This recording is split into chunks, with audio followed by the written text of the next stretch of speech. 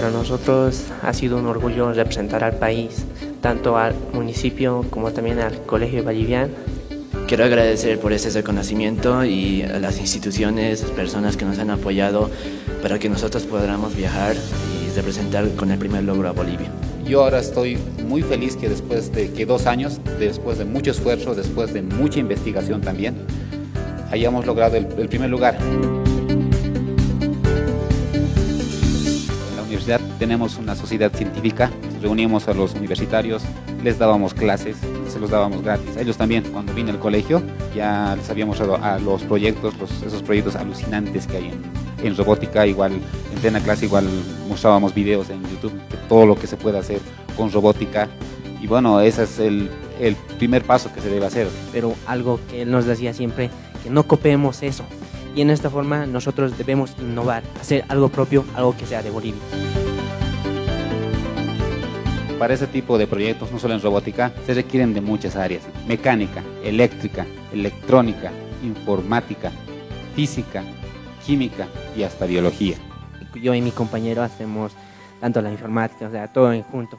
Pero a mí lo que más me gusta, en lo que más me destaco es en la parte mecánica y tal vez en la electrónica. Interés en la, en la robótica nace por, por sus damas, como, como dijo mi profesor, eh, la física, matemática y demás. Y mi fuerte sería el hardware y el software. Uno nunca es bueno en todo, uno no puede ser el cerebro, uno no puede ser corazón.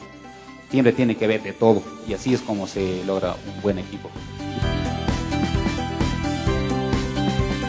Ha habido también algunas personas que nos decían, cuando les mostrábamos que íbamos a ir acá, nos decían, Bolivia todavía no está a ese nivel, nos decían.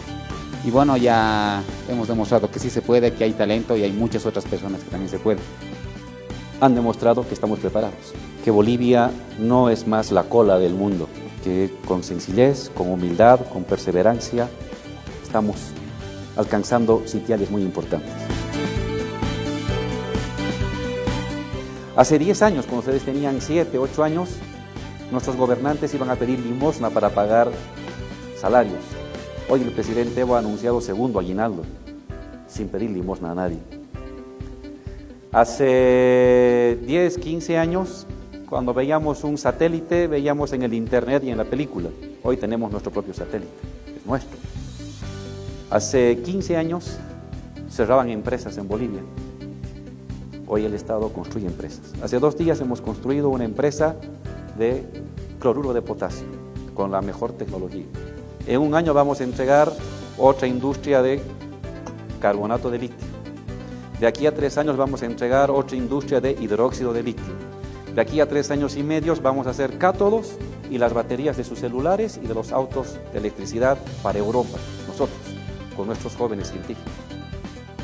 En el norte de La Paz tenemos una industria de azúcar, modernísima, que produce azúcar. En Cochabamba tenemos una industria que convierte el gas en un fertilizante, la planta de urea. En Santa Cruz tenemos otra industria que convierte el gas, que saca el gas de la tierra, lo congela, lo coloca en una cisterna y lo lleva hasta Pando o lo lleva hasta Chacachi. Y ahí se descongela y sale como gas en el domicilio de las comunidades. Vamos a tener una industria que convierte el gas en plástico, en plástico duro, en plástico blando. Nosotros, los bolivianos. Queremos ya no solamente concursos, sino industrias, empresas, donde su conocimiento, su creatividad se ponga en juego. Para mejorar tu conocimiento, tu habilidad, ¿qué faltaría? ¿Qué necesitas? Porque quiero que sigas ganando más premios, el equipo y los, los que vienen y los que vendrán. Necesitaríamos un centro de un laboratorio en sí dentro del colegio donde tendría que estar una impresión, una impresora 3D, una router CNC, una plasma, torno para poder hacer nuestras piezas que sean a la perfección, ¿no? Porque veíamos allá las, los países tenían unos prototipos pero a la perfección, pero nosotros no son tanto y mediante esos equipos sí se puede lograr algo mejor que se puede hacer. Señor director, ¿tenemos espacio para un laboratorio? ¿Hay espacio? ¿Habilitaría usted el espacio? El presidente Evo me pidió que les preguntara qué necesitan. Y ustedes me han dicho que necesitan un laboratorio. Les vamos a dar su super laboratorio a la unidad educativa. y es una convocatoria para el resto de los colegios de Bolivia. Vamos a potenciar los laboratorios de los que nos van mostrando premios. Confiamos en ustedes, son el nuevo cerebro de Bolivia. Como ustedes, muchos, muchos, muchos, tenemos miles. La cosa es tener la voluntad y la decisión de romper los prejuicios. Tenemos la capacidad, podemos, somos un país que se está haciendo respetar en el mundo y vamos a lograr esos sueños. Así que yo los felicito, jóvenes. La nueva Bolivia se construye con el conocimiento de ustedes, con su creatividad. Hay Bolivia porque hay juventud creativa. Hay Bolivia porque hay juventud con amor a la tecnología. Y esa Bolivia es la que nos va a dar muchos logros.